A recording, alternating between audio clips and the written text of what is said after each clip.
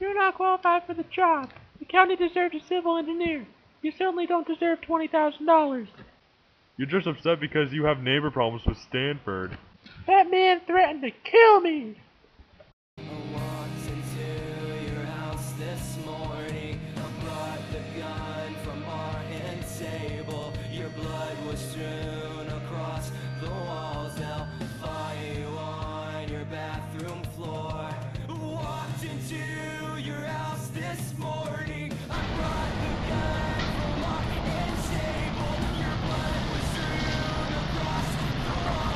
Get these people out of here!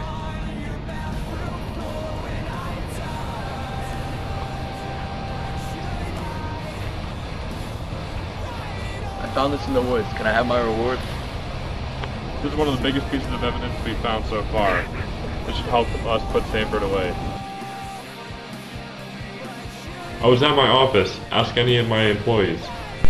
Mr. Stanford, have you seen any of these before? No? Really? Because the clothes have your initials on them, and the machete was found in your car.